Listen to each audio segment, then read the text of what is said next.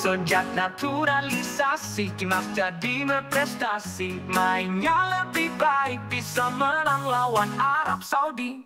Kiper Martin Paes Backnya Bang J.I.Z Sandy Weiss Back kanan Back kiri. Pratama Arhan Ada Kevin Verdonk dan Justin Hubner. Juga Rizky Ridho dan Ivar Jenner. Gelandang Tom Hayeda Marcelino. Strik Korat Mangun siap cetak gol. Ayo timnas teruslah berjuang Kami kan terus dukung Raihlah kemenangan.